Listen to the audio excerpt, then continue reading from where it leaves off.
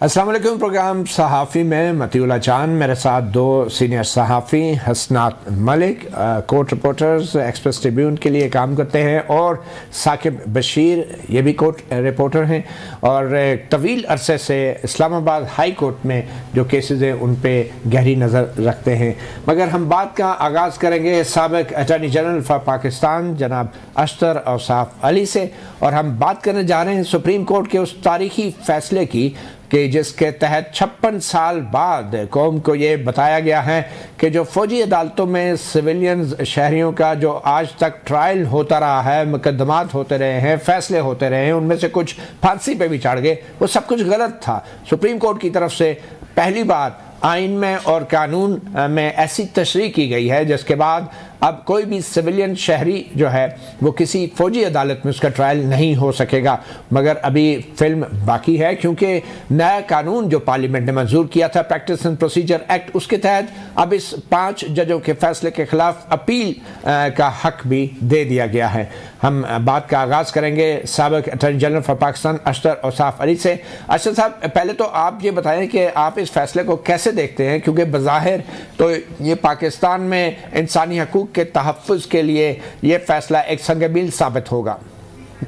आपने बिल्कुल ठीक कहा। ये वाकई एक बहुत अहम फैसला है। लेकिन इस फैसले की रीजनिंग तो हमारे सामने है नहीं। और एक वजह जो फौजी अदालतों के मुतलिक की जाती रही है और हमेशा की जाती रही है, वो ये है कि उनके फैसलों के रीजंस नहीं होते।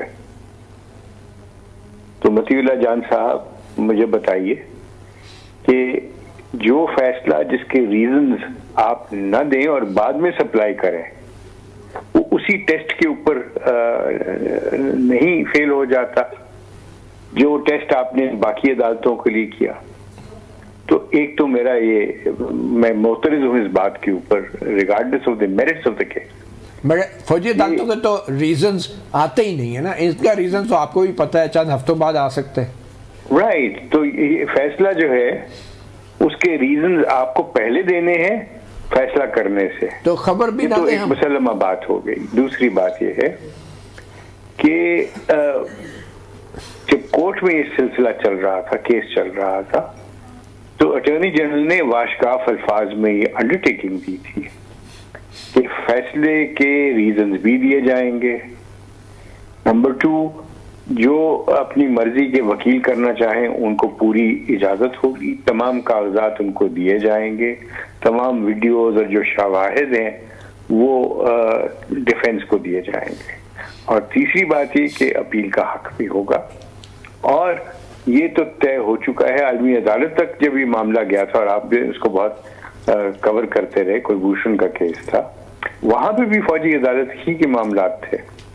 और आलमी अदालत ने भी ये करार दिया था कि इसके अंदर ना तो कोई मिसट्रायल है ना फौजी अदालतों के जो प्रोसीजर है वो अनफेयर है और आर्टिकल टेन ए से मतलब यहाँ तक तो ये बात हो गई।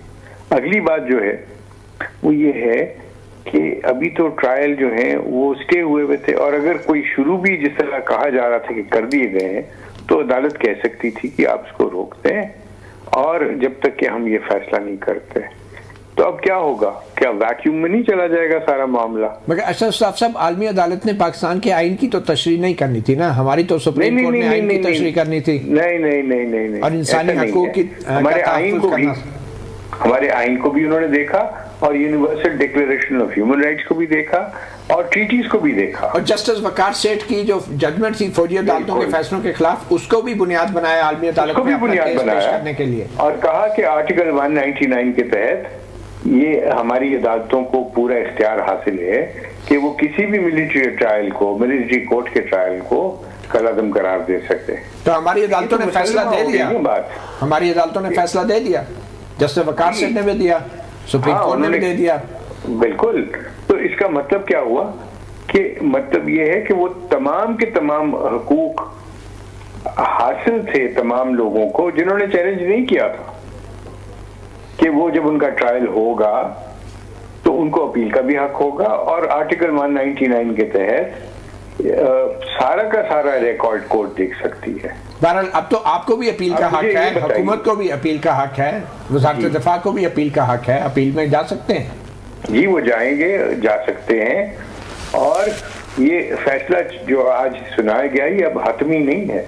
ये सब्जेक्ट टू दी अपील होगा। ठीक है। अच्छा अशरफ साहब साहब क्विकली ये बता दें कि ये जो आज का फैसला है क्या सुप्रीम कोर्ट या हाई कोर्ट्स के उन तमाम फैसलों पर भी इसका असर हो सकेगा? उन तमाम फौजी अदालतों के फैसलों पर जो 21वीं आईनी तरमीम से पहले के अरसे में दिए गए या फिर जी। नहीं। 2019 में के बाद में दिए गए तो तमाम फैसले ये सिर्फ़ 9 मई के मुलजमान पे इसका असर नहीं होगा बल्कि तमाम सिविलियन शहरी जिनके खिलाफ फौजी अदालतों में ट्रायल चलाया गया इक्कीसवीं तरमीम के अरसे के अलावा उन सब पे इस फैसले का असर होगा?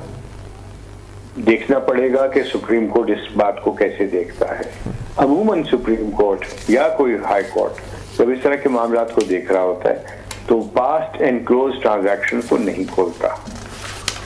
और जो पास्ट एंड क्लोज ट्रांजैक्शन है ज़ाहिर है वो रीओपन नहीं हो सकेंगे।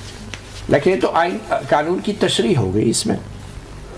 ना सिर्फ़ तशरी हुई बल्कि कानून को कलदम करार दिया उन्होंने। सिर्फ़ तशरी नहीं की। अच्छा ये जो फैसला है इसके सब पैरा थ्री में कहा गया है कि ये मजीद करार दिया जाता है कि कोई भी कार्रवाई जो आर्मी एक्ट के तहत की गई है मस्कूरा बाला अफराद या दूसरे या दीगर अफराद के खिलाफ, जो नोमी के अलावा अफराद हैं, और जो इसी तरह की सूरत हाल इसी तरह की कार्रवाई का जिनको सामना है, जिसमें कोर्ट मार्शल भी शामिल है उनके खिलाफ तमाम कार्रवाइयाँ जो हैं वो कानूनी और आइनी तौर पर गैर मौसर करार दी जाती हैं। तो इसका मतलब है, ये सिर्फ़ नौ मई का मामला नहीं है, दीगर अफराद के केसेस का भी मामला है।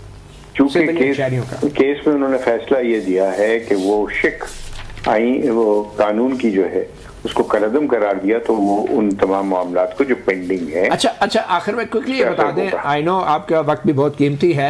अशरफ साहब साहब उन्नीस में ये टू वन डी की शिक डाली गई थी जिसमें जो आम शहरी हैं उनका भी ट्रायल हो सकता था। तो छप्पन साल गुजर गए। इस दौरान बहुत से शहरियों को सजाएँ भी हुई कुछ को सजाए मौत भी हुई इसी शिक के तहत।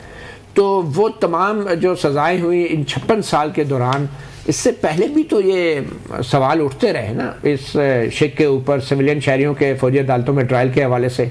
तो ये आपके नज़दीक ये अचानक सुप्रीम कोर्ट ने फैसला छप्पन साल बाद कैसे दे दिया? सबसे पहले तो ये मामला था जिसमें आप उर्फाम में एफ़ पी अली केस कहते हैं। एफ़ पी अली केस में भी इसके ऊपर सैर हासिल गुफ्तु हुई।